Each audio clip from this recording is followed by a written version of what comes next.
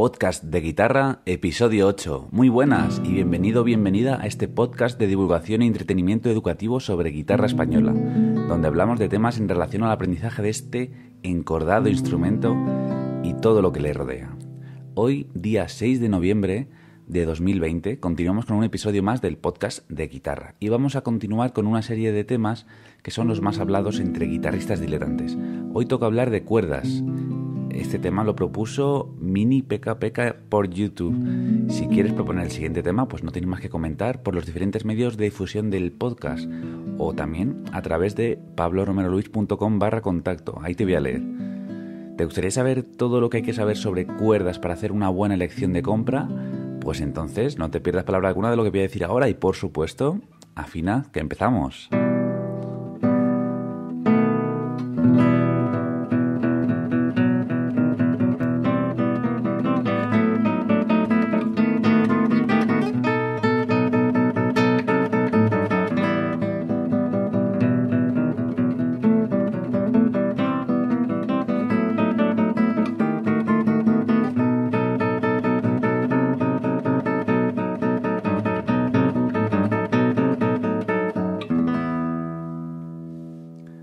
Pues como siempre, antes de continuar, te voy a comentar cómo vamos en, los cursos en pabloromeluis.com.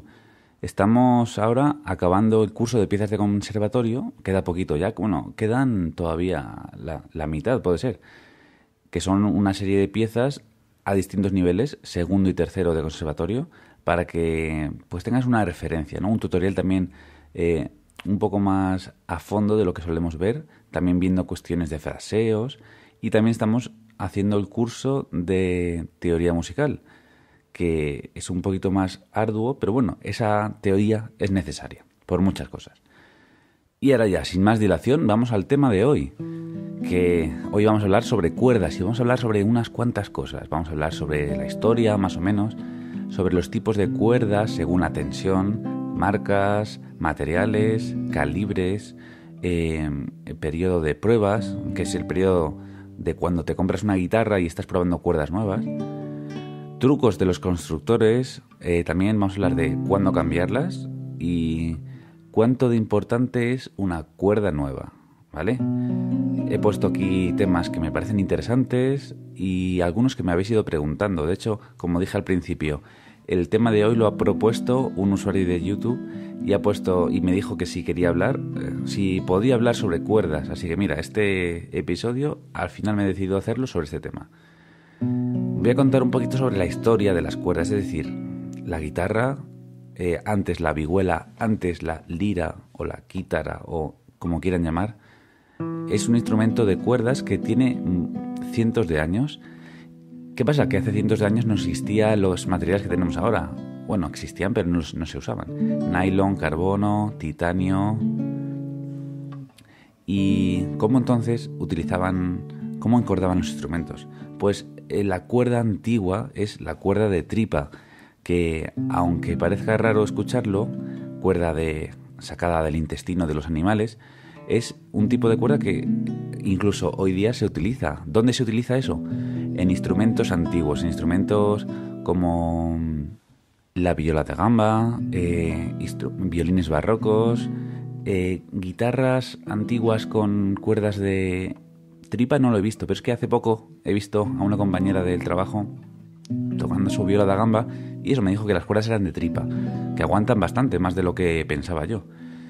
Es verdad que las cuerdas de tripa es más difícil que suenen como tienen que sonar. Quiero decir, una cuerda de nylon ha sido tratada en una fábrica, tiene un calibre concreto, tiene cierta pureza y la cuerda de tripa pues tiene también su forma de hacerla, pero es mucho más difícil encontrar una cuerda de tripa que, que sea perfecta, que suene bien. Incluso, como estamos hablando ahora de la historia, yo recuerdo una historia de mi profesor de guitarra que comentaba que cuando él era joven se compraba las cuerdas de 10 en 10, de 10 en 10 juegos.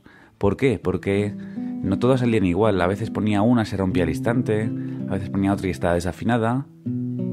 Ahora hemos avanzado mucho en el aspecto. Entonces, sobre historia de las cuerdas, quiero que sepas que realmente eh, venimos de tocar eh, tripa de animal durante muchos siglos y ahora nosotros tenemos la suerte de poder utilizar estos materiales. ¿Qué materiales tenemos ahora? Tenemos nylon, tenemos carbono o titanio. Pero antes vamos a hablar de los tipos de cuerdas según su tensión, porque eso es casi lo más importante a la hora de decidirte eh, qué cuerdas comprar. Y como el título de, del podcast de hoy es ¿Qué cuerdas de guitarra comprar? Vamos a hablar de esto. Tensión. Hay tres tipos de tensión para las cuerdas, ¿vale? Tensión baja, tensión media y tensión alta, ¿vale? ¿Qué diferencias hay? Pues que la tensión alta son cuerdas que al ponerlas están muy duras, ¿vale? Tienen mucha tensión. Suena, suena la misma nota, claro, pero la tensión que crea entre la cabeza de la guitarra y el puente es mucho mayor. Con esto que conseguimos, pues conseguimos que si tocamos la cuerda, la fuerza es mucho mayor, es decir, el volumen podrá ser mayor que en una cuerda que tenga menos tensión. La tensión media es la que utilizo yo, ¿vale? Para ser sincero. Estuve tocando durante mucho tiempo con tensión alta porque quería eso de que mi guitarra sonara más, pero me di cuenta que realmente no sonaba más. Eh, me costaba más fuerza darla. La tensión alta también está más dura la guitarra, ¿no? Y te cuesta más, te cansas más y al final con una tensión media, con menos fuerza, puedes hacer que suene más o menos igual. Vale, te digo todo esto porque son cosas que oímos y al final la experiencia me ha enseñado que con una tensión media voy de sobra. Luego he oído que guitarristas como Vicente Amigo utilizan tensión baja y que la guitarra pues parece que están las cuerdas ahí sueltas casi de, de lo baja que es la tensión. Y la tensión baja simplemente es que es muchísimo más cómoda de tocar la guitarra. ¿Por qué? Porque no hace falta apretar casi nada para que salga el sonido pero claro, no suena tanto como una tensión alta. Hoy día, como tenemos unos amplificadores buenísimos, sobre todo Vicente Amigo, ¿para qué va a estar ahí apretando la guitarra y dejándose los dedos en cada escenario? Así me parece perfecto. Entonces, ya sabes que tienes tres tipos de tensión para probar, porque ¿cuál es mejor? No te voy a decir yo, eso lo vas a ver tú probando, que es, eso es lo, el camino que tenemos que, que surcar todos. Marcas. Digo, no voy a hablar de marcas porque este podcast no está eh, sponsorizado, es decir, no me patrocina a nadie. Pero bueno, sí, porque siempre tenéis curiosidad y me preguntáis, ¿qué marcas utilizas? Pues os soy totalmente sincero porque, como he dicho, nadie me paga para decir esto. Las marcas que utilizo son Dadario, Sabarez o Classic, eh, Royal Classic, que no me salía el nombre. Y la que, la que uso principalmente es que como tengo varias guitarras y he probado distintas cuerdas, me queda con esas tres, que son las que más me gustan. Pero para mis guitarras, para mis guitarras actuales, porque cada guitarra tiene un tipo de cuerda que le viene mejor. Y el camino de encontrarlas, que voy a hablar luego de él, es muy importante. Yo estuve probando un montón de juegos, un montón de marcas, más de 10 al principio a comprarme esta guitarra con la que estoy tocando ahora mismo. Y al final me di cuenta que la mejor cuerda, la que mejor le venía y el, la que me mejor hacía resaltar las cualidades de esta era la marca Dadario, con cuerdas de nylon, porque sabéis que todas las marcas, o casi todas, tienen de todos los estilos, ¿no? La marca Dadario me gustaba cómo quedaba mi guitarra, pero sin embargo había una cuerda que no sonaba del todo, que es la tercera cuerda, y para esa cuerda utilizo otra marca y otro material. Para la tercera cuerda utilizo el material de, carbono. Y es que me he reído porque estaréis pensando, pues qué, nivel de friquismo, ¿no? De tienes tres, eh, compras un juego para poner las cuerdas, luego la tercera la cambias. Y pues sí es que es verdad, al final todos buscamos un poco lo que nos, lo que nos viene mejor. Y te digo que de verdad es un gran cambio el nylon al carbono. Y justamente de eso vamos a hablar. Entonces te he hablado de marcas, te he dicho Dadario, Sabarez, em, Royal Classics. También me han gustado en algún momento Hannah La Bella, ¿vale? Para que veas que no solo conozco esas. Hay una que no me ha gustado nada y es muy famosa, no sé por qué, que es la del gato negro. Fíjate, si te hablo bien de algo, pues también te hablo mal de lo que me parece que está mal. Ya sé que el gato negro no me va a sponsorizar, pero tampoco quiero. Entonces, cambiamos de tema y vamos a materiales. Materiales, vamos a hablar primero del nylon, de lo que tiene de bueno, lo que tiene de malo y por qué yo lo uso. Vale, nylon es con lo que se hacen las cuerdas de las raquetas de tenis. Por eso está la broma esta típica de cuando tienes una, una raqueta de tenis, que alguien te dice, venga, tócate algo. Sobre todo cuando saben que tocas la guitarra, ¿no? No sé si os habrá pasado. ¿Qué tiene de bueno el nylon? Pues una de las cosas es el precio. Mucho mejor, mucho más barato que los demás y los hermanos que son el carbono o el titanio. El nylon también tiene la peculiaridad de ser eh, la... Bueno, no digo el más, pero sí, sí digo que es el material por el que mejor se desliza el dedo sin que haya ningún... Ay, ¿Cómo se dice? Ninguna fisura o ningún traspiés. Es decir, cuando está la cuerda nuevecita, eso parece como si fuera una, un, piso o un, un, suelo recién esmaltado o recién pulido. Vale, no esmaltado, no, no sé por qué me ha salido esa palabra. Un, suelo recién pulido que en el que pasas y estás pues con miedo de resbalarte y de caerte. Y eso es genial para el dedo, porque se desliza la uña que suena que da gusto. ¿Qué pasa? Que se va desgastando como un suelo pues pulido y eh, luego ya no resbala tanto y suena un poco el... No sé, he, intentado imitar eso. Voy a pasar la mano sobre el dedo cerquita del micro para que lo escuches. ¿Vale? Ese sonido es que suena muy poquito. Pasar el dedo a través de la cuerda. Las cuerdas que tengo ahora mismo están bastante nuevas y no tienen mucho ese, esos huequitos que se crean. Que es lo malo del nylon, quizás que se desgasta demasiado rápido. Lo bueno, que el sonido es mucho más dulce que en el carbono, por ejemplo. ¿Vale? Y vamos a hablar ahora del carbono. ¿Por qué es tan famoso? ¿Por qué se ha hecho tan famoso el material para las cuerdas de guitarra? Vale, que es un poco más caro, pero hace que la cuerda pueda ser más fina y que suene más. Y eso de fino te lo voy a explicar cuando hablemos de calibres, pero lo de que suena más, eso sí es algo que interesa a muchos, muchísimos. Te recomiendo que pruebes el carbono. Yo, como te he dicho, uso las, la tercera de carbono, pero no me gusta tanto en la segunda y en la primera porque no me hace conseguir un sonido tan dulce como el que a mí me gustaría. Luego el titanio yo creo que es la gama alta porque tiene lo bueno del nylon y lo bueno del carbono, que es que suena más fuerte y también tiene esa dulzura, esa, esa parte de deslizar el dedo y que suene eh, completamente un sonido redondo y puro. ¿Qué pasa? Que es mucho más cara y por eso, simplemente por eso no lo uso yo. Tampoco el oficio de guitarrista es para tirar cohetes de momento. Esperemos que en algún momento esto suba. Siempre digo eso.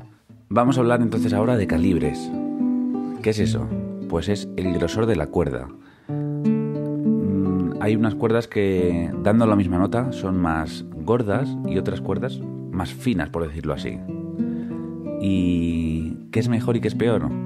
Pues igual que con todo, no, hay nada mejor ni peor, sino lo que a ti te guste. En cuerdas de guitarra española tampoco tenemos mucho para probar, pero por ejemplo, eh, las cuerdas de carbono son más finas que las de nylon. Ahí es donde lo he probado yo. No me han gustado demasiado las cuerdas que eran muy finas en la primera cuerda y en la segunda. Pero por ejemplo en la tercera me gusta mucho, que no sea tan gorda como las de nylon. Bueno, como las de nylon de Dadario, las normales porque podemos encontrar distintos grosores, pero claro, eso hace que sea una cuerda un poco más cara. No sé si meterme ya tanto en eso. Yo lo que he probado eh, es más o menos lo que se suele usar, lo normal. No quería comprar modelos así muy muy especiales porque digo, si me gusta esto voy a tener que estar comprando cuerdas de este modelo. En guitarra eléctrica se mira mucho más eso de los calibres. Y por ejemplo, a mí lo de 0,9 para guitarra eléctrica en la primera es la que más me gusta. Me gusta muy finita la guitarra, la cuerda en la guitarra eléctrica sea súper blandita. Ya aprieto bastante en esta de nylon para estar ahí también con la otra. Entonces, que sepas eso, que los calibres son eh, los grosores de las cuerdas. No te comas mucho la cabeza en esto, simplemente que lo sepas, porque a lo mejor te dicen qué calibre quieres. Si estás comprando una eléctrica o unas cuerdas de eléctrica o te preguntan otra cosa comparado con la eléctrica, con la española. Y así también puedes mirar tú esos numeritos que vienen, que son 0, algo, y para que sepas lo que son, ¿vale?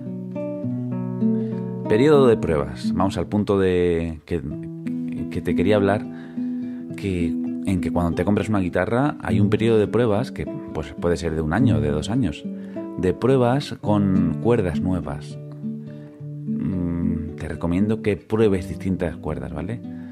Que las pongas, ya sé que es un fastidio ponerlas, pero que pruebes cuerdas y que investigues con los materiales y con todo lo que te estoy diciendo yo hoy. ¿Por qué? Porque, como te he dicho antes, cada guitarra tiene una, un tipo de cuerda que le viene mejor. Por eso que no hay ni unas buenas ni malas, pero que sí que estaría muy bien que probaras en los distintos materiales, las distintas marcas, distinta tensión incluso, que eso, que sepas que hay un periodo de pruebas para cada guitarra que tengas y que simplemente que te lo tomes, que no es, tengas pereza en eso, porque ah, va a hacer que suene mejor tu guitarra, Ah, simplemente eso, no te insisto más. Trucos de constructores he titulado así esta sección, esta mini sección dentro de la sección del tema de hoy, para decirte que los constructores también tienen sus trucos, exactamente, no son nada tontos. Cuando construyen una guitarra ven qué tipo de cuerda le viene mejor a su guitarra y te la venden con ese tipo de cuerda que le suele venir mejor, ¿vale? Digo suele porque luego hay que seguir probando. Estoy hablando de los constructores de guitarras artesanas, ¿vale? No de los de cuerdas eh, en serie, los de, perdón, guitarras en serie que esos ponen simplemente las cuerdas más baratas porque pues así les es más barato y ganan un poquito más, ¿vale? Hay de todo, pero bueno, te estoy hablando en general. ¿Qué trucos hay? Pues el truco de la tercera cuerda de carbono, que es el que utilizo yo. Y es que la tercera cuerda en la mayoría de guitarras no suena tan potente como otras cuerdas. Digo en la mayoría, ¿eh? no en todas. Y es un buen truco poner la tercera de carbono. No es que sea un truco, pero es algo que funciona, así que ¿por qué no vamos a hacerlo? Y te digo lo del truco de productores porque si tienes alguno por ahí cerca, pregúntale, pregúntale qué cuerdas le viene mejor a la guitarra que vas a comprar, por ejemplo. Y si tiene algún truco para que suene mejor todavía. Vamos al siguiente tema. ¿Cuándo cambiarlas? Muy buena pregunta. La respuesta también, como siempre y como muchas respuestas, varía dependiendo de cuánto la uses. Pero hay un indicativo o hay varios indicativos que te están diciendo que cámbiame las cuerdas ya. La guitarra está diciendo eso. Un indicativo es que las cuerdas, en lugar de ser de color plateadito, las de arriba, sean de color negro. Si están de color negro, ya es que llevan mucho tiempo sin cambiarse. Y te vas a dar, te vas a flipar cuando las cambies. Vas a ver la diferencia de sonido. Vas a ver también un sonido un poco más brillante, que a lo mejor no te gusta al principio, es un choque, pero eh, cuando lleves dos días tocándolas, es que vas a notar una diferencia bestial. Yo normalmente las cambio unos días antes de un concierto, ¿vale? No el mismo día, no te lo recomiendo. Y por eso es que te necesitan unos días de adaptación también para que se queden y se afinen bien. Si es un, eh, una emergencia, pues no pasa nada, pero si la cambias un par de días antes, eso sería lo perfecto, una semana incluso. ¿Vale? Eso es el cuándo cambiarlas. Si tienes un concierto importante, yo las cambiaría. Otro indicativo de que están ya para cambiar es que no afinan bien las octavas, ¿vale? Por ejemplo, voy a tocar la quinta cuerda ahora y ahora voy a tocar el traste 12 de la quinta cuerda. La octava. La, Si, ese, si esa nota no está bien afinada, lo puedes probar con el afinador o como quieras. Si no está bien afinada la octava, pues es un indicativo de que la cuerda ya está ahí un poco, pues para cambiarse. Te está pidiendo que la cambies también. Y el último, pues si se te empieza a romper, ¿vale? Parece obvio, pero hay que recalcarlo. Si se empieza a romper un poquito, va a aguantar, va, puede aguantar un poco, un poco de tiempo más, pero cámbiala ya, por favor, porque te va a venir algo de que tengas que tocar y va a ser demasiado tarde. ¿Vale? Así que cuando se empieza a romper un poquito por lo que sea, aunque esté recién puesta, cámbiala, pon una distinta. ¿Vale? Y te digo un consejo que se me acaba de ocurrir ahora, pero no lo tenía puesto en el tema. Guarda las cuerdas viejas. ¿Por qué? Porque si se te rompe una que acabas de poner, es un fastidio tener que abrir otro juego para coger una cuerda solo. Coges la cuerda antigua y si no está muy mal, te puede hacer el apaño para unos días, unas semanas o el tiempo que sea, depende de lo bien que esté, ¿vale? Así que guarda por lo menos un juego de cuerdas viejas y está bien tener ese repuesto. Lleva siempre en la guitarra un juego de cuerdas nuevas y un juego de cuerdas viejas, ¿vale? Eso es lo que hago yo, por eso te lo recomiendo. Y por último, ¿cuánto de importante es una cuerda nueva? Esta pregunta me gustaría hacérsela a algún constructor de cuerdas. El podcast eh, estoy pensando en que tome una dirección hacia entrevistas, por lo menos después de los primeros 10 episodios, ¿vale? Y me gustaría invitar a ciertas personas. Me gustaría invitar a constructores de guitarras, a, a constructores de cuerdas de guitarras, a guitarristas y, no sé, a personas relacionadas con el mundo de la guitarra que puedan ayudarte a disfrutar más de este instrumento. Si tienes alguna persona, algún nombre, alguna persona que quisieras que entrevistara, porque ya sabes que tengo algunos vídeos con entrevistas, yo creo que va a ser más fácil entrevistarles por medio del podcast, porque, porque es, por sonido es más fácil compartir. Ahora como en muchos casos tenemos que estar en casa, pues seguro será más fácil pillarles a todos. Y yo no tengo vergüenza de preguntar. Puede que me digan que no, puede que no me contesten, pero si se te ocurre alguna persona que quieras que entreviste en podcast de guitarra, no dudes en pedírmelo, ¿vale?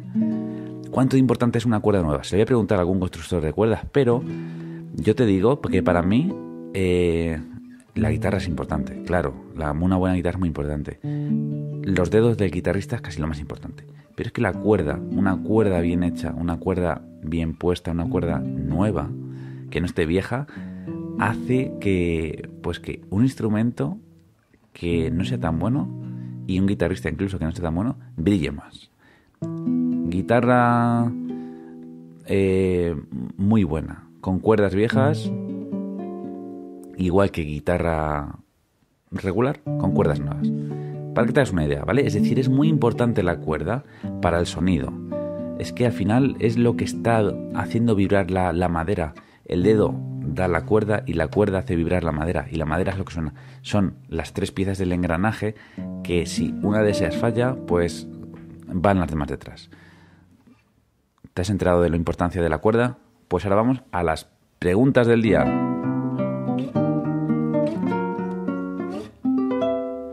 Muy bien, pues hoy tengo unas cuantas preguntas porque dije en el último episodio que me hicierais preguntas en el en YouTube o cualquier, por cualquiera de los medios. Y tengo algunas preguntas que me habéis hecho por Evox y, y por YouTube, principalmente. La primera, voy a leerla, ¿vale? La he puesto tal cual me habéis escrito, José María, y me dice, yo tengo la lucha con las uñas, eh, habla, sobre el vídeo de uñas que publiqué hace poquito en YouTube y que ha tenido bastante éxito. Yo tengo la lucha con las uñas sobre todo con la de dedo anular y la posición de los dedos para que suene mejor las tres primeras cuerdas. Me gustaría que lo pudieras explicar en algún podcast. Hola José María, encantado de leerte. Em, te voy a responder un poco sobre la duda, aunque me parece que luego hablamos un poquito, por iVox me parece que fue. Eh, uña del dedo anular, muy importante. Y de hecho yo cuando me he cortado las uñas ahora para el vídeo de, de uñas, que te lo recomiendo, eh, la uña que más he echado en falta ha sido la, la del anular. Y me he dado cuenta que esa uña es más larga que la de otros dedos. Bueno, ya lo sabía, pero me he vuelto a dar cuenta, ¿no? Me, he vuelto a dar cuenta de la importancia. Me dices que tienes una lucha, una lucha, sobre todo con el dedo anular y la posición para que suene mejor las tres primeras cuerdas. Eh, yo lo que hago para medir más o menos la distancia de la uña es poner dedo 1, digo, perdón, dedo índice en cuerda 3, dedo medio en cuerda 2 y dedo anular en cuerda 1 y trato de que la sensación de llegar a las cuerdas sea a la vez con la yema y con un poquito de uña, ¿vale? Es decir, me guío mucho por el sentido, por el sentir el tacto en la cuerda y, e intento que las cuerdas, perdón, que las uñas, entre cuerdas, uñas, dedos y todo ya es un lío. Intento que las uñas estén más o menos con la misma sensación en el dedo, ¿vale? Es decir, es más sensación que tamaño de uña y que otra cosa. Y eso sí, para las tres primeras cuerdas indispensable tener la uña bien pulida.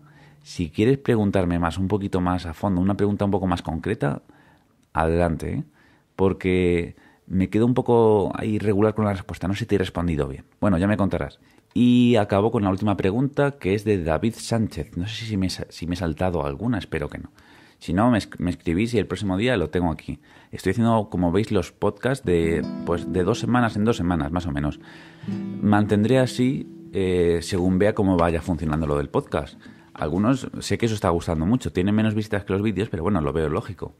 Y también no sé mucho cómo funciona el mundo de los podcasts, así que como es algo que me está gustando, pues de momento voy a seguir. Sigo con la pregunta de David Sánchez. Dice, muy buen vídeo, man. Una pregunta. Con respecto al aprendizaje, ya sea que estudies 10 minutos, una hora, cuatro horas, ¿cómo se puede dividir los ejercicios en ese tiempo para los mejores resultados? O sea, no me imagino tocar cuatro horas un trémolo a 40. pues sí, ha puesto jajaja y todo. Sí, exactamente. Eh, si te pones el trémolo cuatro horas a 40 es que algo no va bien. bueno, sí. Mira, te voy a decir.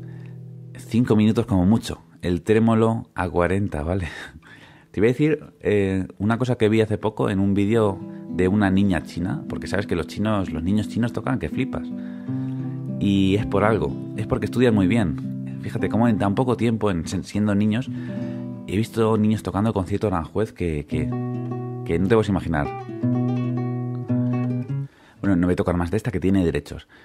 Y el caso es que la niña esta estudiaba como siempre decimos que hay que estudiar, pero que luego nadie hace. Nadie hace en España, por lo menos. Yo no hice en su momento mucho tiempo. Luego ya sí, ¿vale? Pero cuando ya era más mayor y ya tenía un poco más de cabeza. Eh, lo que hacía era ponerse metrónomo, no sé si a 40 o a 80 o lo que se fuera, y se ponía a practicar trémolo, así incluso sin sonido, ¿vale? Así como estás oyendo. Pugar, anular, medio, y dice, con el metrónomo puesto, ¿vale? Y se ponía 5 minutos, pero para no aburrirse, cogía el iPad y se ponía a ver dibujos. Era muy gracioso. Y se ponía así un rato. Luego decía, después de cinco minutos vamos a practicar rasgueo. Y se ponía ta, ta, ta, ta. Con rasgueo igual, metrónomo y dibujos. ¿Vale? Y no sé, tampoco vi mucho el vídeo, pero eso me, llama mucho la atención. Es decir, los ejercicios técnicos los practicaba de manera eh, puramente técnica durante un tiempo cortito, pero suficiente para poder tener la atención y a la vez se ponía algo de fondo para no aburrirse del todo, ¿vale? Eso lo de fondo, eso ya es secundario. Pero sí que es verdad que para la técnica puedes estar escuchando la radio o tener la, tele de fondo, realmente. Si te da el cerebro como para estar pensando en el movimiento monótono que tienes que hacer, incluso para escalas, ¿vale? Puedes estar haciendo escalas y haciendo otra cosa, porque si ya las tienes muy practicados, eh, ¿ves? Yo me trago un poco a lo mejor. Si las tienes muy practicadas te da igual porque siempre es como ir para arriba y para abajo, ¿sabes? Entonces, esa parte técnica dentro de... Voy a, hablarte de porcentajes, porque si eh, practicas una hora, practicas cuatro, al final son porcentajes. La parte técnica yo nunca la he estudiado más del 20% del tiempo que estudies. ¿Vale? Un poco al principio. Y luego ya repartirse el tiempo con distintas piezas. Yo tampoco estoy mucho tiempo con las mismas piezas porque veo que no avanzo. Si veo que algo me está costando un poco, rápidamente cambio a lo siguiente. Me apunto por dónde voy y voy a la siguiente pieza y me pongo con ella.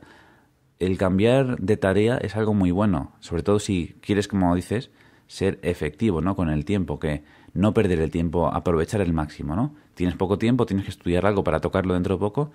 Entonces, hay una parte de técnica que siempre es eh, diaria porque dices, quiero mejorar esto, quiero, quiero hacer que esto suene un poco mejor, hoy me veo un poco peor con, pues, con las escalas, voy a probar una cosa nueva. Y luego, pues la parte de estudiar las piezas que tienes que estudiar. Si quieres ir al grano, pues tienes que estudiar solo lo que te sale mal, tienes que tenerlo bien focalizado y, y con, concreto, ¿no? Y, e ir directamente a eso. Por ejemplo, en la pieza de la de ah, la catedral, ¿no? La estoy estudiando yo ahora para grabarla en un lunes con música y hay una parte que, bueno, hay varias partes, tres, cuatro, que sé que son las que me dan problemas siempre. Todo lo demás no, todo lo demás puedo no estudiarlo y ya, ya tocarlo. Entonces me pongo solo con eso.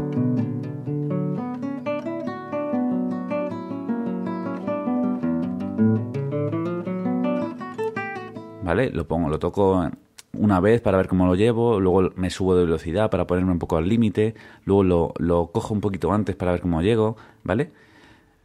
Y cuando ya estoy un poco saturado, que puede ser después de 20 minutos, si estás muy a tope, pues cambias de cosa, cambias de, de pieza y así eh, no haces fallos, ¿vale? No te acostumbras a tener fallos, que eso es una de las cosas que pasan si estás con un trémolo 4 horas a 40, ¿vale? Entonces espero haberte respondido más o menos a tu pregunta. A lo mejor me he ido un poco de, tiempo, pero nada más. Simplemente ahora deciros que muchas gracias por vuestras valoraciones, por escuchar el podcast, que es un placer teneros al otro lado. Y nada más, que este episodio me gustaría dedicarle a todos aquellos que os gusta un café calentito para desayunar. y nada más, toca mucho y equivócate. Sigue tocando y comete errores. Continúa y empieza de cero si es necesario, porque lo importante, lo bonito, es el camino que recorres.